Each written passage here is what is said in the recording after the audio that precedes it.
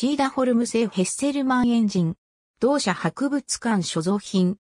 直列6気筒、オフで、噴射ポンプはクランクシャフトにより駆動され、シリンダーブロック側面の噴射ノズルより、シリンダー内に燃料を噴射する。蒸気エンジンをエキゾーストマニホールド側より撮影した写真。オフのためディストリビューターがシリンダーブロック側に取り付けられている。また、点火プラグのプラグホールは噴射ノズルと反対側のシリンダーブロック側面に開けられている。単出式、ディーゼルエンジンと類似した配置だが、ピストンヘッドに大きなくぼみが必要になるため、圧縮比があまり大きく取れない欠点がある。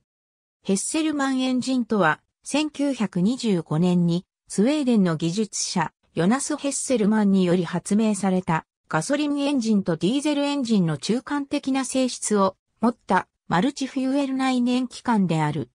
ヘッセルマンエンジンは自動車のために開発された最も初期のガソリン直噴による火花点火内燃機関であり、ヘッセルマンエンジンは1920年代から1930年代にかけて大型トラックやバスに用いられた場合フューエル自動車の最初期の事例でもある。ヘッセルマンエンジンは基本的にはガソリンなどの軽質な揮発油を用いる火花点火内燃機関を揮発性の低い重質油である重油や灯油、軽油でも動作するように改良したものである。重油が使用できるディーゼルエンジンではない内燃機関は焼き玉エンジンや石油燃焼型蒸気機関などいくつかの種類があるが、ヘッセルマンエンジンはこれらの内燃機関とともに EN、オイルエンジンと呼ばれるカテゴリーを形成している。ヘッセルマンエンジンは原理的には一般のガソリンエンジンと同じオットーサイクルを理論サイクルとする4ストローク機関で燃料は噴射ポンプを用いて燃焼室内に直接噴射される。高い圧縮比で発生する熱のために自然着火が起きるディーゼルエンジンと異なり、このようなエンジンは圧縮比が低いため、点火には点火プラグを用いる必要がある。ヘッセルマンエンジンはガソリンにて始動し、暖気運転が済んだら重油などに燃料が切り替えられる。ヘッセルマンエンジンは空燃費を極端な気迫燃焼として圧縮工程の最後に燃料を噴射することで重質油を使用することを可能としている。再始動を容易にするために、重油を使用した後は、シリンダー内に堆積したカーボンを清掃する目的で、エンジン停止前に燃料をガソリンに切り替えて、しばらくの間アイドリングさせておく必要があった。ヘッセルマンエンジンは、自動車用エンジンとしては初めて火花点火エンジンで、島内直接噴射を実現したエンジンであった。ヘッセルマンエンジンは、ガソリンと比較して安価な重質油を使用できるため、自動車のオーナーにとっては経済的な利点があった。同時期の同出力のガソリンエンジンと比較しても、わずかな燃費の低下を示すのみであった。ヘッセルマンエンジンは、同時期のディーゼルエンジンと比較してはるかに小型で、軽量であった。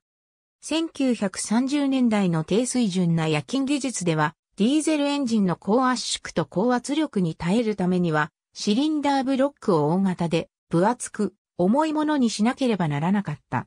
後にディーゼルエンジンの素材が改良されると、ヘッセルマンエンジンは優位性を失った。ヘッセルマンエンジンはいくつかの欠点があった。低い圧縮比のために作動温度になかなか到達せず、しばしば不完全燃焼を起こし、点火プラグを急速に汚損した。その際には大量の黒煙を吹くこととなり、今日的な基準としては到底許容しがたいほどの有毒な排気ガスを大量に発生することを意味していた。ヘッセルマンエンジンは今日までに3つのスウェーデンのトラックメーカーに採用された。1920年代にスカニアバビス、チーガフォルムブルク、ボルボトラックスにて採用されたが、スカニアバビスは1936年、ボルボは1947年にヘッセルマンエンジンの採用を止め、小型化と高性能化が進んだディーゼルエンジンに移行している。ヘッセルマンエンジンはその後も産業用エンジンとして利用されており、戦前の大日本帝国にも導入が行われている。